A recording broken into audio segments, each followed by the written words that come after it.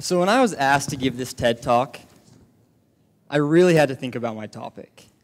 I mean, I'm not Jeff Bezos. And you guys can see that I'm obviously not Sheryl Sandberg. So, what can a 22 year old kid tell a smart group of people that will actually change their lives?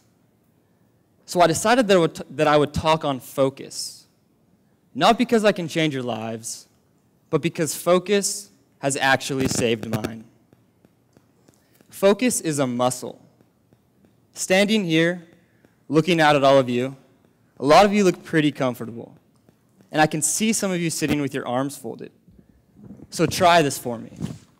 You have a natural way that your arms fold. Everyone fold their arms.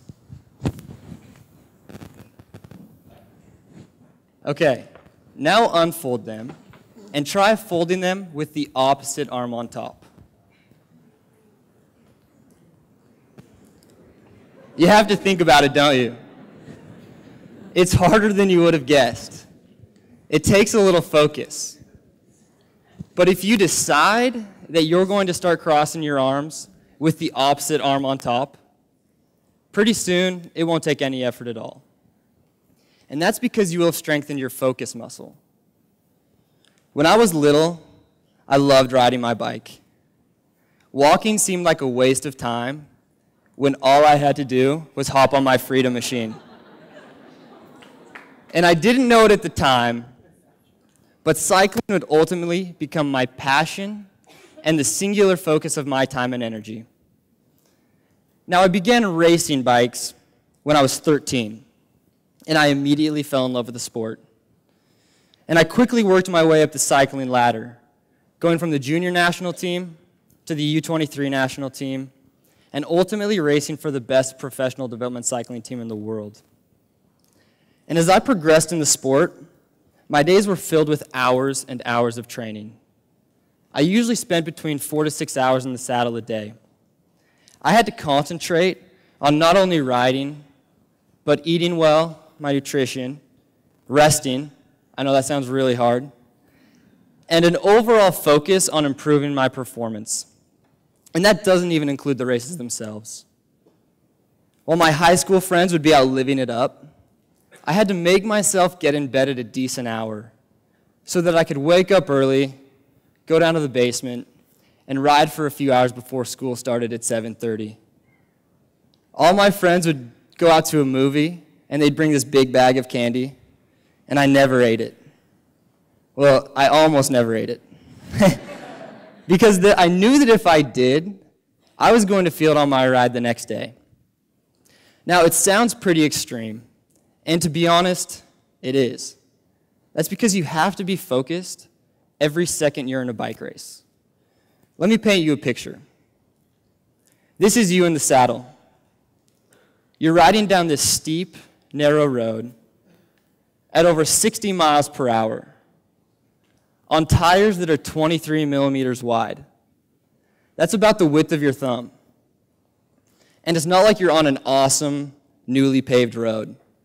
The ground is full of unknown obstacles. There's rocks, potholes, gravel, and occasionally wildlife. you guys may think squirrels are harmless, but you really have no idea. And it's not like you're alone. There could be as many as 200 other riders, all just riding inches away from each other. And we haven't even factored in the weather. If you lose focus for even one second in this race, you could not only potentially harm or kill yourself, but others in the peloton. It was necessity that forced me to hone my focus muscle for these races. And so I worked and worked at it for years. And little did I know that my ability to focus would not only help me in my cycling career, but it would ultimately end up saving my life. I was 19 years old, and I was racing with the U.S. national team in Europe, and everything was great. Our team was doing really well, and I was living in Belgium. I mean, how could things not be great? But I had this nagging feeling that something wasn't quite right. And I thought to myself, it's probably just the intense race schedule wearing me down. and so I brushed it off. But ultimately, I, I did end up going to the doctor. And the last thing on earth I expected to hear was, You have cancer. There's something that happens when you get news like that.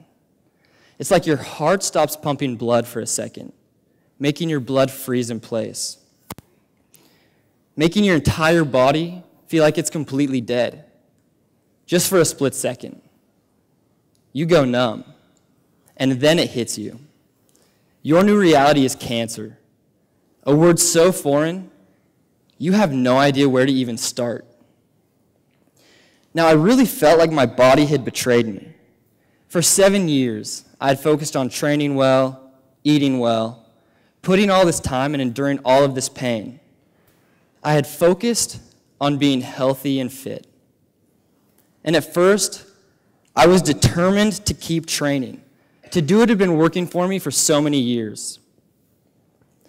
But not long after I started my treatment, I felt like I couldn't think at all. Never mind focusing on racing, training, or even getting strong. I mean, I could not focus on anything. But I was determined that cancer wasn't going to change me. So I tried to keep going with school, with racing, and with getting well. The days really did seem never ending.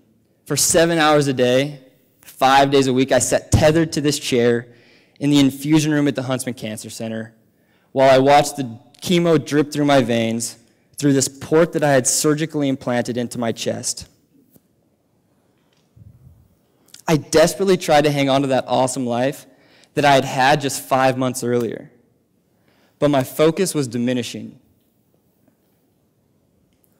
I was, chemo and cancer had really robbed me of my ability to focus, which is sometimes known as chemo brain.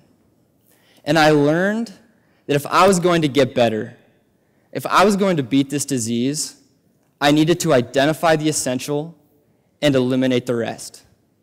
So that's exactly what I did. I stopped riding.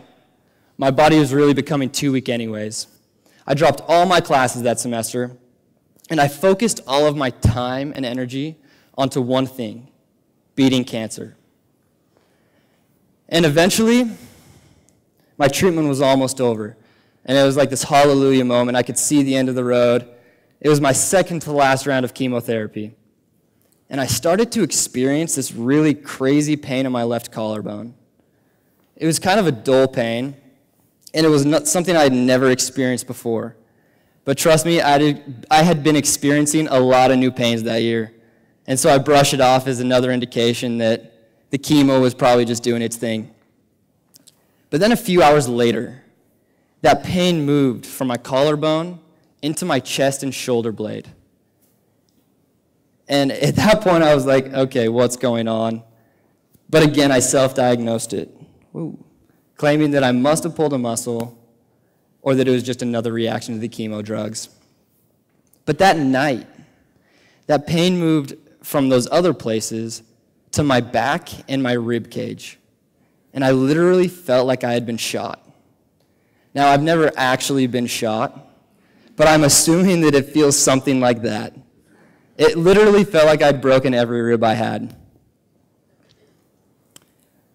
So that night, I remember sleeping in this chair in my parents' living room, and I scoured the entire house for any painkiller I could find.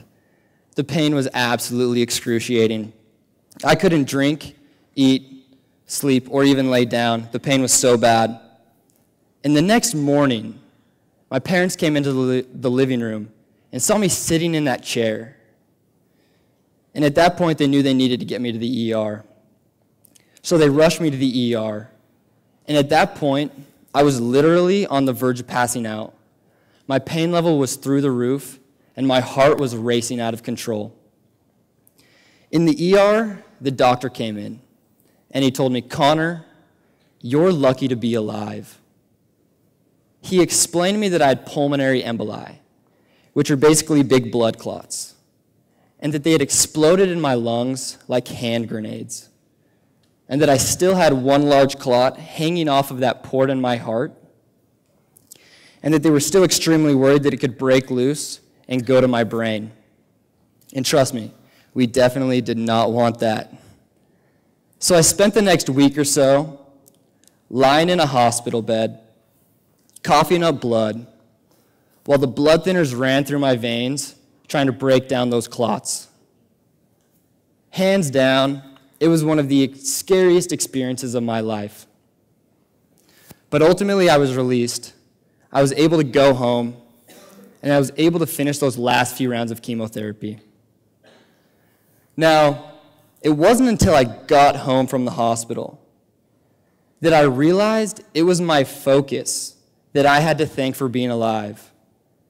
It was those sometimes endless, thankless, cold, terrible, hot days of training that had served an even greater purpose than a spot on the podium.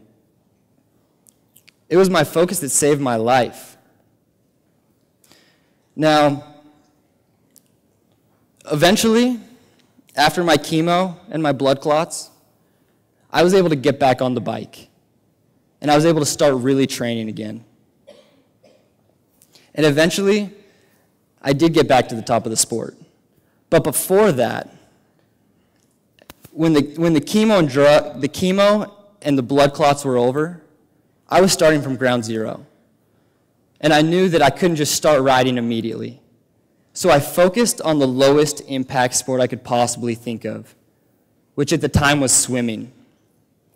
And I remember going to the local community pool. And it must have been seniors' night out or seniors get half off because the place was absolutely crawling with bald headed old guys. And I'm not going to lie, I fit right in.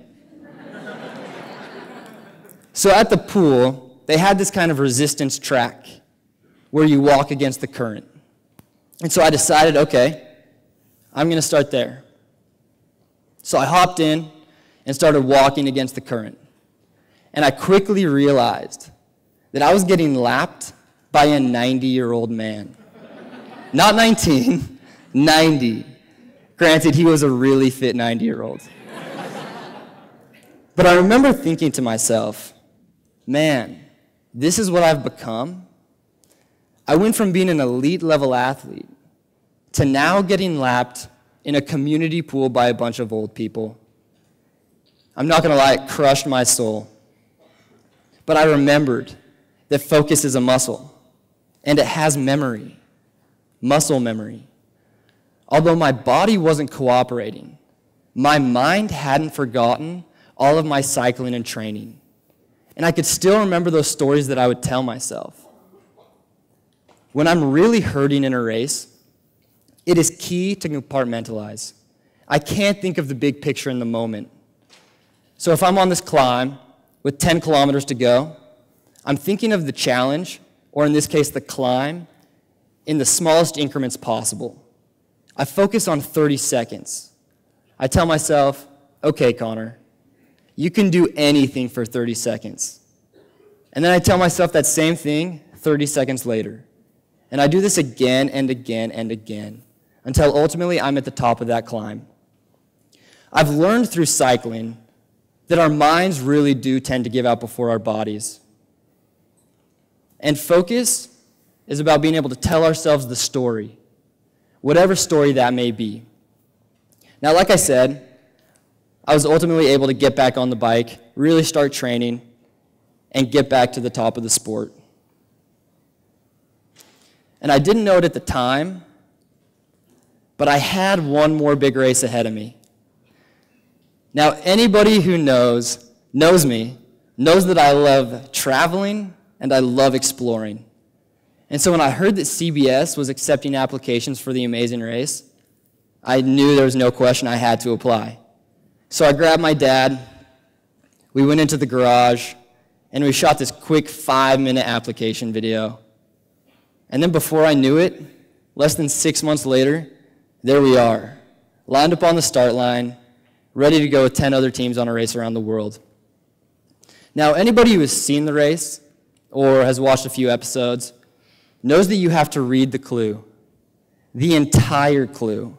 Those that don't usually get eliminated quickly. So there my dad and I are. We're on the second leg. Somehow we're in the lead, and we're in Bora Bora. So we rip that clue open and we take off, headed to dive for pearls. So we get to the dive location and we realize we don't have our dive bags, which we needed for the dive challenge.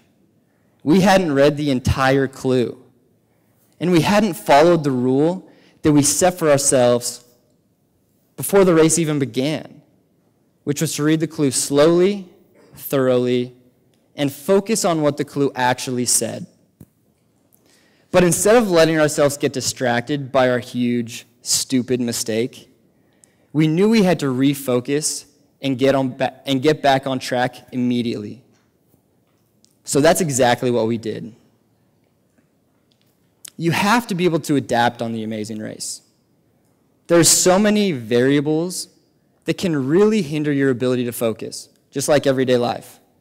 Um, instead, in this case, you have a camera in your face, you're very sleep deprived, you're in who knows where, and you're raising for a million dollars.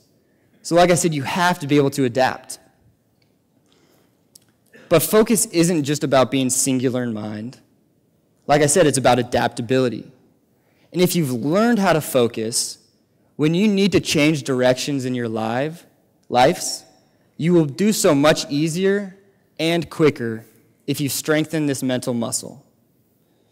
Now, even though you may never be a professional cyclist, and I hope that you never have to go through cancer, and I really wish that you could all go on the amazing race. But even if that doesn't happen for you, whatever you decide to do in your life, you will do it better because you've learned how to focus. And you never know. It might just save you one day. Thank you.